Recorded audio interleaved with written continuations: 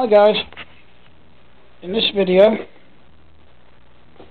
I'm going to um, demonstrate why I don't like using cable locks like this.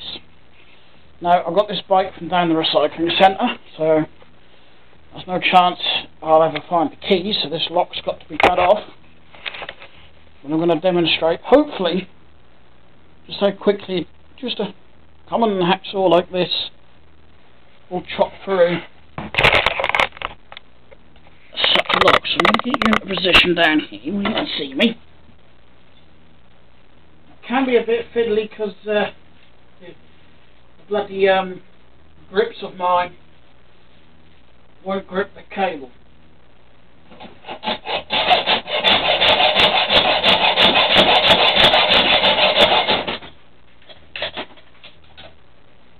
Just like that.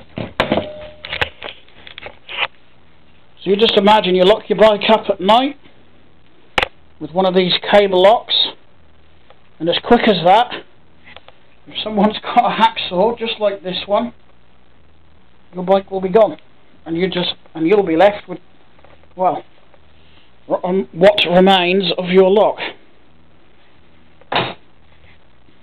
So that's precisely why I don't use them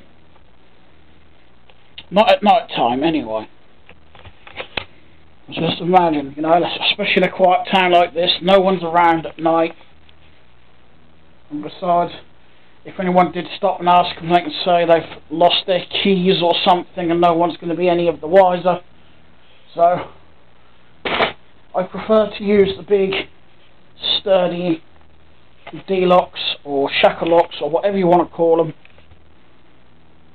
And, uh, because they're much, much, much more secure.